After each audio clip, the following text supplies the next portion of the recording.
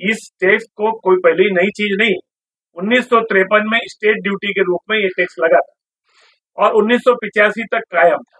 उन्नीस में जो अभी वर्तमान कांग्रेस के नेता जिसको राहुल जी इस बात को बार बार उठा रहे हैं और जनता में ये भ्रम फैला रहे हैं कि ये लाना समाज के हित में है, उन्हीं के स्वर्गीय पिताजी के राजकाल में उन्नीस में स्टेट ड्यूटी को एबोलिश किया गया। अगर वो चीज़ सही थी तो एबोलिश क्यों किया गया?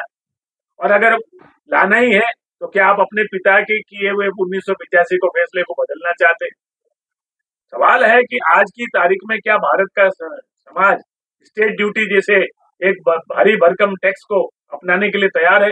क्या हमारे पूर्वजों द्वारा छोड़ी गई कोई भी संपत्ति है, उसका पचपन परसेंट, पैंतालीस परसेंट सरकार ले जाएगी उनके मरने में यानी इनहेरिटेंस टैक्स वो चीज़ है वारिसदार है, उनको पैंतालीस परसेंट या पचपन परसेंट कट होने के बाद वो कर के रूप में चला जाएगा, उतना ही मिलेगा।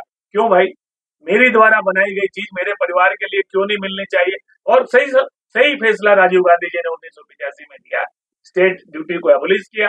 आज हम लगभग 40 साल के बाद वापस ये बात कहें कि नहीं इनहेरिटेंस टैक्स के रूप में चीज़ वापस री इंट्रोड्यूस होना चाहिए। तो उसके लिए कोई धरातल के ऊपर हमने कोई जगह नहीं बनाई है। न हमने कोई माहौल बनाया है, न वैसी कोई परिस्थितियाँ हैं कि इस इस गलत टैक्स को वापस लागू करना चाहिए। तो मोदी जी ने सही बात उठाई। क्या हमारे वारिसदारों के ऊपर भी कर लगाने की बात कांग्रेस कर रही है? कांग्रेस को आज भ्रम है। कांग्रेस हताशा, निराशा में क्या बोल रही है, क्या कह रही है, उनको खुद समझ में नहीं आ रहा। इसलिए इनहेरिटेंस टैक्स आज की तारीख में हिंदुस्तान की जनता पर लादने का कोई सवाल ही नहीं उठता। और न ये लड़ सकता